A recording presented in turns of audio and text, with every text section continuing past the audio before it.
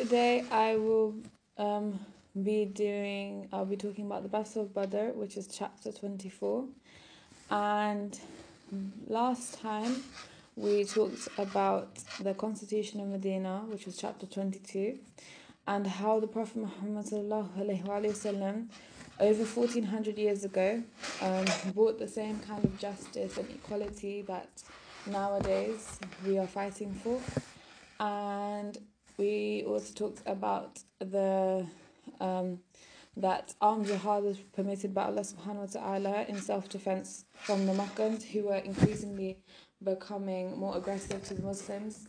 And we talked about the conditions of if there is jihad that um, no, no harm should um, come to any woman, children, elderly, farmers, laborers, religious leaders, and that um, no, you're not allowed to destroy crops in the lands, trees and green fields, and I'm not allowed to destroy places of worship either. Okay, starting with chapter 24, Battle of Badr. The people of Mecca had forcefully occupied the houses and properties of the Muslims who had emigrated from Mecca and took over their land took over their lands. So as we learned before, when the Muslims emigrated, they left everything behind in Makkah. And what the people did in Makkah is that they um, started occupying their, their houses and taking their property. Further, they began to threaten the Jews of Medina and demanded that they force the Muslims out of Medina. In order to intimidate the Muslims and show their strength and power over them, they sent a party of raiders and looters which attacked and ransacked an area of Medina used for grazing animals. They killed the shepherds and marched the herds of goats and camels to Mecca. This successful attack and raid from their part raised the nerve and ego of the unbelievers of Mecca and they became bolder. So they formally began making preparations to launch an outright attack on the city of Medina. The leaders of Makkah dispatched a unique and exceptional trade caravan to Syria under the leadership of Abu Sufyan so that they could finance and cover the costs and expenses of the imminent attack on Medina from the income generated from this trade caravan. When this caravan was on its way back, returning from Syria, the Holy Prophet Muhammad invited the Muslims to go in its pursuit. Hence, the Holy Prophet, accompanied by 313 of his selfless companions, departed from Medina. The Muslims had only one horse, one horse, and 80 camels to ride on. And, the, and there were 313 of them, and they had only 18 cam- 80 camels and one horse. And the rest of the soldiers had to, work, had to walk on foot. The Holy Prophet ﷺ appointed each camel to a group of three or four of the companions who would ride the who would ride the camel in turn. When the Holy Prophet had covered the distance of his turn, he himself would dismount from the camel so that the other person could ride on it. Both of his companions spoke out, O Allah's Messenger, please continue to ride the camel even when it's our turn. The Holy Prophet replied, Neither of you is stronger than me, nor is it the case that I am in need of reward and only you are in need of it. When Abu Sufyan received the news of the that the Holy Prophet had left the city of Medina and was on his way in, in, in, in his pursuit, he sent an urgent message to Makkah that they should immediately come to his aid. The unbelievers of Makkah were stirred into action by this message, and each person began to get ready to fight against the Muslims. Consequently, a large army of the unbelievers of Makkah, consisting of 1,000 soldiers, set off from Makkah, being led by Abu Jahl. They had 100 horses compared to the one horse of the Muslims, 600 camels compared to the 80 camels of the Muslims, a troop of slave girls to sing and dance, and an ample amount of weapons and military gear with them. It is said that the Muslims were outnumbered by a ratio of 1 to 3. Meanwhile, Abu Sufyan's caravan had passed by before the Muslims had arrived, and it reached an area where it could not be confronted by the Muslims. He sent another message to the people of Makkah that his caravan was now safe, so that there was no need to continue, continue the march and fight the Muslims for now. However, Abu Jahl refused to turn back to Makkah and boasted that they would continue on and teach the Muslims a bitter lesson at the place of Badr. Soon the Holy Prophet received news that Abu Sufyan's caravan had managed to move along swiftly and was out of reach, but the Quraysh of Makkah were steadily marching towards them with a large military force. So the Holy Prophet consulted with his companions in view of this latest development and changing situation on the ground. The noble companions replied, Oh, o Allah's Messenger, go wherever you decide, we will go with you. If you give us a signal to dive into the ocean or face up to the enemy, we will happily and anxiously sacrifice our lives. We are hopeful that Almighty Allah subhanahu wa ta'ala will enable us to demonstrate such a fate for you which will bring coolness to your eyes.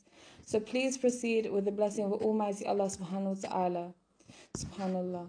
We will not give you the answer that the Israelites gave to the Prophet Musa when they said to him that he and his Lord should go and fight the enemy, but but they were not prepared to but they were not prepared to fight and remain behind in comfort. Rather, we will we will say we will say to you that please continue forward.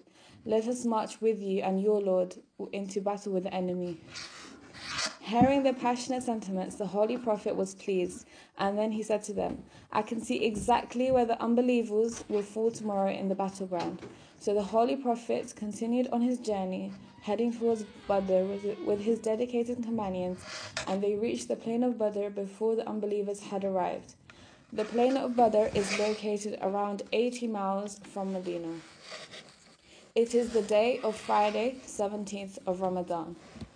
On one side, there is a strong army of 1,000 unbelievers with extensive weaponry and military gear, and on the other side, there are 313 Muslims with a small number of swords and spears. The Holy Prophet held an arrow in his hand and was straightening the rows into battle formation. Any soldier who would be a step forward or backward from his line, the Holy Prophet would point to this arrow to straighten the row and not allow the formation to be broken. The Holy Prophet was walking in front of one of the rows and saw that Sawad was standing one step forward from his row. Perhaps he moved forward to kiss the Holy Prophet's hands. The Holy Prophet lightly pressed with his arrow on his stomach and said, O Sawad, straighten yourself. Sawad straightened himself, but then immediately said, O Allah's Messenger, I have been hurt by this, so let me get even. The flag bearer of justice and fairness, the Holy Prophet, did not take this request as disrespect or as an insult. A mere soldier, while standing on the battleground, demanding something like this from the commander in chief, for this he was not punished or ordered to be court martialed. Rather, without displaying even a small sign of disappointment, the Holy Prophet lifted up his garment, presented his blessed stomach, and said, O Sawad, come and take your revenge. Sawad immediately leapt forward, embraced the Holy Prophet, and kissed his stomach. The Holy Prophet asked, Sawad, why did you do this?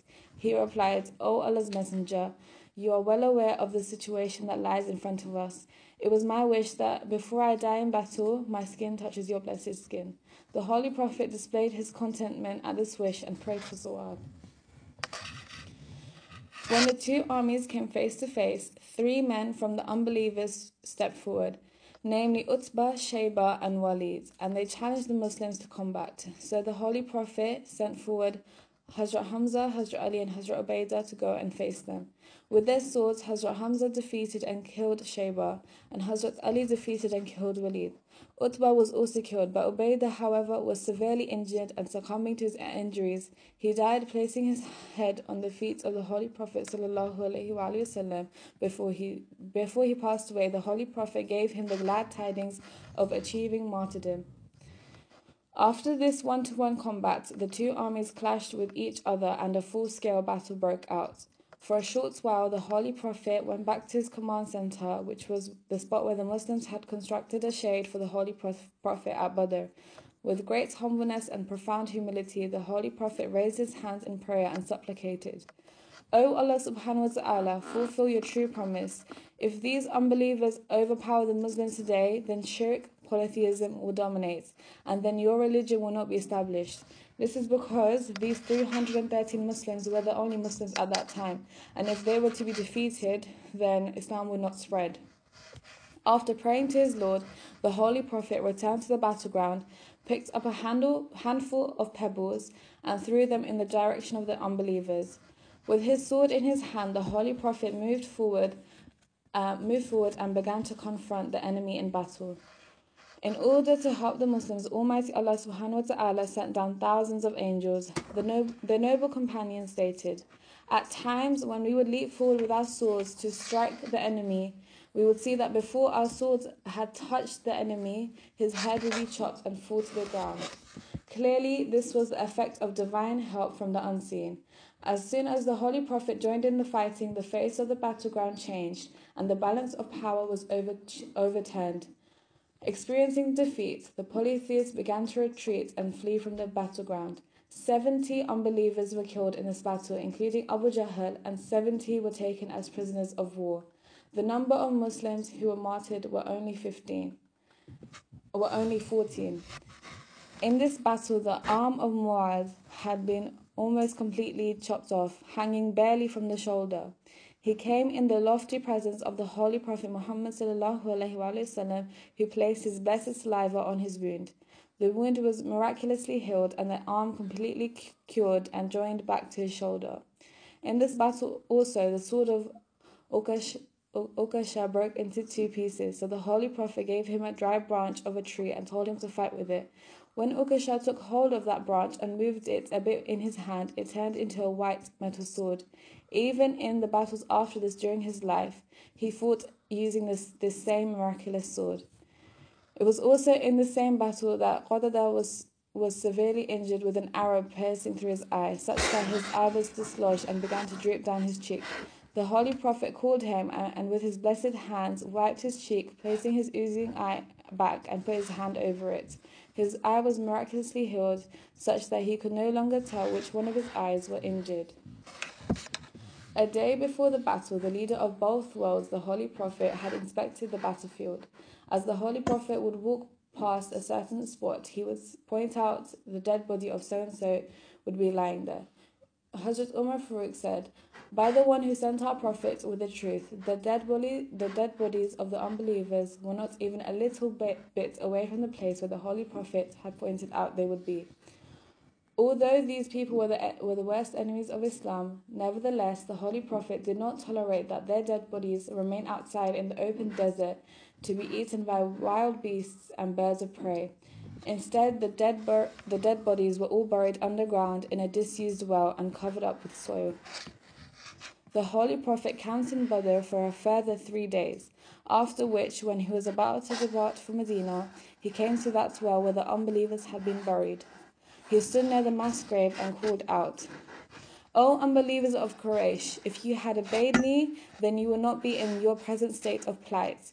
You are very cruel relatives. You forced me out of my home, rejecting me. Other people gave me refuge, believing in me. Hearing this, Hazrat Umar said, O Allah's Messenger, three days have passed since they died, and today you are calling out to them. How can bodies void of souls hear? The Holy Prophet ﷺ replied, you are not hearing what I am saying more clearer than they are. They are now listening to what I am saying, but they are, they are not able to answer. In fact, they are now convinced that what I was telling them before was the truth. After the battle, the Holy Prophet called a meeting to, to consult about the 70 prisoners of war that had been captured during the battle. Several suggestions had, were put forward, including that these oppressors be given the death penalty. The suggestion which the Prophet of Mercy, the Holy Prophet, preferred was that each prisoner would be set free in return for a financial ransom according to whatever amount the prisoner could afford, and whosoever from amongst the prisoners could not afford to pay any ransom, he could teach ten children of Medina to read and write, and he would be set free. In order to be set free, 400 dirhams, silver coins, were demanded as ransom from Abbas, who replied that he does not have that so much wealth and could not afford to pay this amount of ransom. The Holy Prophet stated, Dear uncle, what has happened to the wealth? Sorry for that. What has happened for what has happened to the wealth and possessions that you and my aunt Umm al-Fadl together buried in the ground, and you told my aunt that if you were to die in battle, then she was to give that wealth to your children. On hearing this, the eyes of Hazrat Abbas, of Abbas opened, and he saw the reality. He responded, Today I have realized and become aware that you are indeed the true messenger of Almighty Allah subhanahu wa ta'ala, because no one had knowledge of this matter other than me and Umar Fadl. Subhanallah.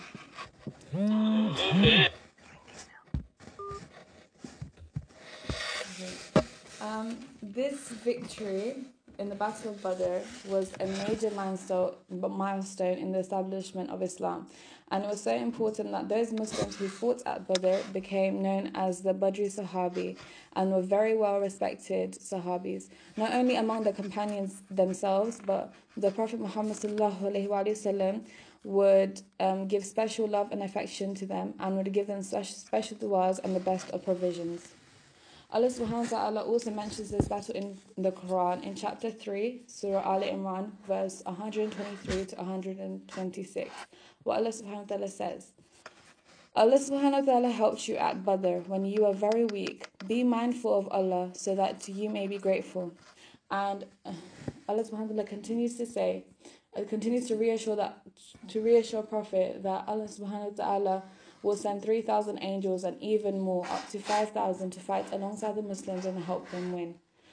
Allah subhanahu wa ta'ala continues to say, and Allah subhanahu wa ta'ala arranged it so as a message of hope for you believers to put your hearts at rest. Help comes only from Allah, the mighty, the wise. And indeed, it was a message of hope for the Muslims as it strengthened the position of Muslims in Medina and it presented Islam as a strong and viable force in the Arabian Peninsula whereas before Islam was seen as weak and its teachings were ridiculed. And it also gave Muslims the hope that one day they will be able to return to Makkah and live in peace, as this battle proved that victory over the powerful and wealthy Meccan non believers was truly possible. And this is a message of hope for us as well. That even when all the odds seem to be against us, Allah subhanahu wa ta'ala is the only one who can give us ease and victory on the condition that we stay firm on the enlightened path in spite of any tribulation we face.